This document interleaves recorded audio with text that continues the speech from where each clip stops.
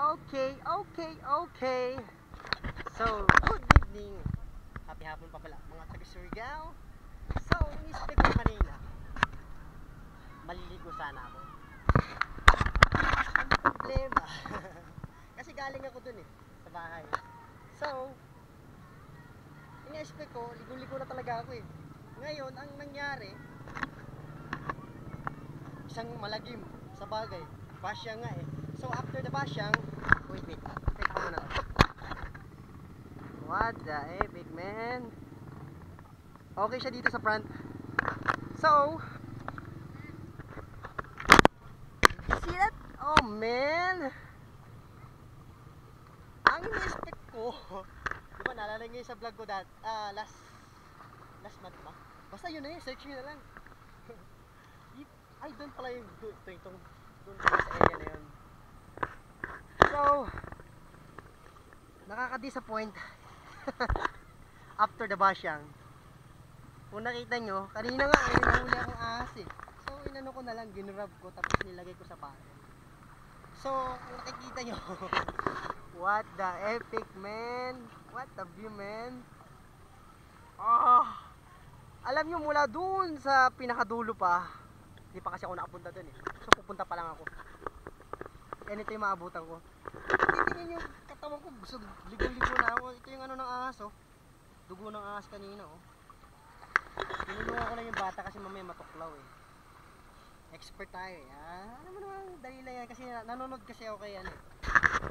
Habang palabas sa GMA. How to... Basta sa Tagalog, hulihin yung ahas. Ayun na yun na. May technique lang naman. I-hold mo lang naman yung kanyang ano, pagka-grab. So, oh, kung nakikita nyo hanggang doon sa dulo, oh. Ha! Ligaw-ligaw na ako kung tutuusin kanina pa eh. So, idadaan ko na lang to sa talk. Nakote mo. So, ito ang sitwasyon. Dinadaanan nila sa upo. Dinadaanan nila sa upo. Yung sitwasyon dito. After the basyang. So,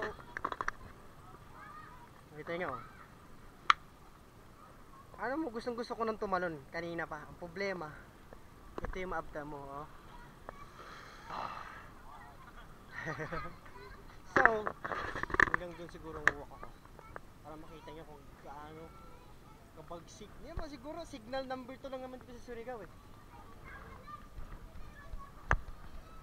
So dito, pag i-compare mo doon, mas makalat. Pagdating dito, ha, Kamayra. Ah, sa Tagalog. Ay, ito. Itong area na to, ito yung last vlog ko. Ano to? Ano ko ahas? Ito yung way kung saan sumabay sa akin yung mga bata. Kasi tinawa, ito yung naalala kong ano, yung anuhan namin eh. Tapos ganito na itsura ngayon oh. Kasi ito na matatanda. Pag, ano daw, pag umuulan, mainit daw ang dagat. So, na-experience ko yun. Pag mainit daw ang dagat, ay, mainit ang dagat, baliktad. Pag mainit ang panahon, hot summer, malamig daw ang dagat. Kasi cold. So, naniwala ko doon kasi na-experience ko yun. Yeah, yeah.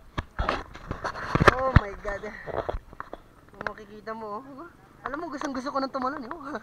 Problema nga lang eh. Ang ganito, no? Namiss ko tuloy yung maligo sa dagat ng Siguro next ano na lang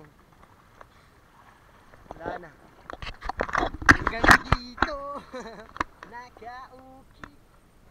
So Gana out na. Papaalam na ako. Kasi wala rin ako mapapala dito. Ano naman gagawin ko. So babalik na ako sa dati kong kampo I'm back in the camp. So Welcome to my channel again. And then Ah, thank you for the views. So, mm, ano, kahit gaano bagyo dito sa Surigao, eh, posing posing, dinadaan nila sa posing. Ha! Ha! Buti pa si Lolo, tatawa-tawa lang eh. so, dito na ako mag end up cut vlog. So, get out na. Surigao, I love.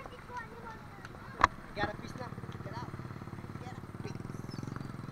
Hindi pa mo sa gasaan, peace.